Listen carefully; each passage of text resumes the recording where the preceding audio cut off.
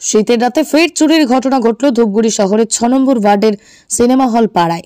ওই এলাকার বাসিন্দা জয় সরকারের বাড়িতে গভীর রাতে জানালা ভেঙে গ্রিল খুলে নগদ কুড়ি হাজার টাকা এবং ক্যামেরা চুরি গেছে বলেই জানা গেছে। পরিবারের সদস্যরা জানিয়েছেন, গতকাল রাত বারোটায় তারা ঘুমিয়ে পড়েন। ঠিক পাশের ঘরেই চলে চোরের তাণ্ডব। সোমবার ভোরেই ঘুম থেকে উঠে দেখতে পান জানালা খোলা। সেই সাথেই জানালার গ্রিল নেই। এরপরই নজরে আসে আলমারির তালা ভেঙে লণ্ডভণ্ড অবস্থায় পড়ে রয়েছে।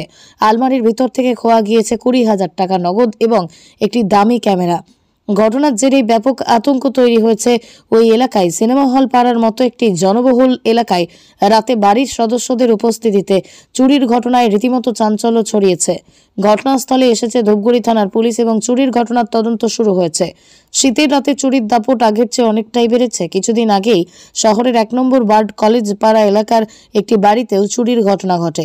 মূলত শীতের রাত একদিকে যেমন কুয়াশাচ্ছন্ন অন্যদিকে অনেকেই গভীর নিদ্রায় মগ্ন থাকেন আর এই সুযোগকেই কাজে লাগাচ্ছে চোরের দল।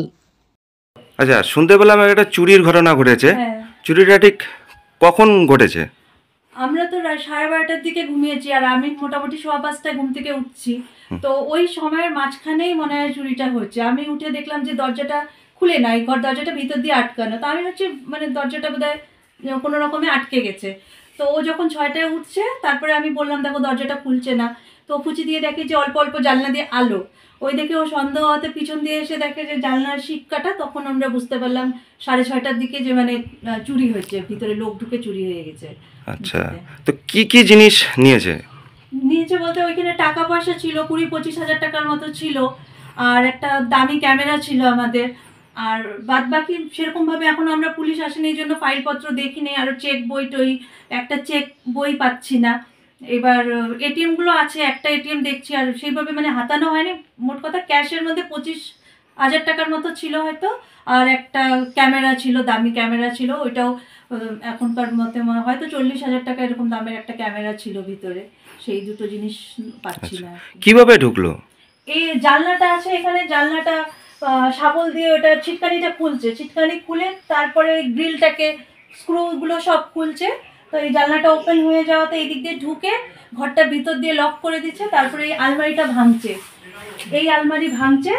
এই আলমারি ভেঙে লকার ভেঙে লকারের যাবতীয় যা যা টাকা পয়সা যা ছিল, যতটুক ছিল, ওখান থেকে ওরা নিয়ে গেছে। আর ব্যাগ আমার স্কুলে যাওয়ার জন্য ব্যাগে টাকা পয়সা ছিল, সেই টাকা পয়সা ওগুলো নিচ্ছে আর কি। ওর মানি ব্যাগ ওইখান মানে থেকে যা ছিল সমস্ত টাকা নিয়ে যা সমস্ত ছিল ক্যাশে সবই নিয়ে গেছে। আচ্ছা। এটা কোথায় হয়েছে চুরিটা? এটা ওয়ার্ড নাম্বার সিক্স বিবেকানন্দ পাড়া। আর আমার বাবার নাম হচ্ছে ফণীন্দ্রনাথ সরকার। ওনার বাড়িতে এই চুরিটা হচ্ছে আপনার নামটা? আমার নাম মৃদুলা সরকার। আচ্ছা আপনার বাড়ি? আমার এই এইটাই বাড়ি শ্বশুর বাড়ি আমি এই বাড়ির বউ। আচ্ছা আচ্ছা। এবার আপনি ঠিক কখন টের পেলেন? আমি ওই সকাল সাড়ে ছটার দিকে মোটামুটি বুঝতে পারলাম। সকালে উঠেও বলছিল যে দরজাটা খুলছে না। হুম এবার আমি এখানে ফাঁক দিয়ে দেখি যে জানলাটা খোলা। সঙ্গে সঙ্গে দৌড়ে গিয়ে পিছনে গিয়ে দেখি এই অবস্থা। আপনার কি বাড়িতেই ছিলেন? হ্যাঁ আমরা পাশের ঘরে ঘুমোচ্ছিলাম। আচ্ছা। পাশের ঘরটাতেই আমরা ঘুমাই। আচ্ছা। রাত্রি বারোটা পর্যন্ত আমি খাতা দেখে দেখে এখান থেকে বেরিয়েছি। আচ্ছা ঠিক মানে এই ঘরে কি কেউ থাকে না? মানে এই ঘরটাতে আচ্ছা আচ্ছা। মানে গ্রিলটা ভেঙে ঢুকে গেছে। হ্যাঁ গ্রিল ভেঙে ঢুকেছে। আলমারিটাও ভাঙছে এই যে বিভিন্ন জায়গায় এই যে আলমারিটা সব এই যে আলমারিটা বিভিন্ন এই যে ভাঙছে উপরটা ভাঙছে উপরে ভাঙছে লকার ভাঙছে। এখানে এই যে লকারটাকে ভেঙে দিয়েছে। পাচ্ছি না এখন তদন্ত হবে জন্য জিনিসপত্র হাতাতেও পারছি না সেইভাবে। আর থানায় কি আহ, খবর দেওয়া হয়েছে?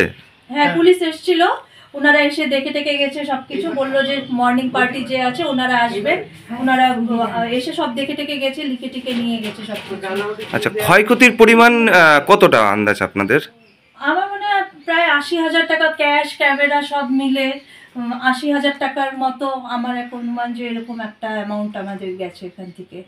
আপনাদের কি মনে হয় যে এখানে কতজন ছিল? একজন বা দুজন? ছিল। পিছনে যেরকম দেখছি পায়ের ছাপটা পাচ্ছে বা এটা খোলা ঢোকা তাতে মানে একজন এটা করতে পারবে না। একজন দুজনের না। মানে বেশ কয়েকজনই ছিল পিছনে পায়ের ছাপটা বা খোলার ব্যবস্থা দেখে মনে হয় যে ছিল। বেশ কিছুজন ছিল। আচ্ছা থানা এসেছিল? থানা এসেছিল। দেখেছে ভিতরে? দেখে গেছে ওরা দেখে গেছে। আর আশেপাশে সবার নাম রেকর্ড টিকর্ড সব শুনে টুনে গেছে। বলল যে আরেক পার্টি আসবে। এফআইআরটা করা হয়নি করব আমরা এফআইআরটা। আচ্ছা ঠিক আছে।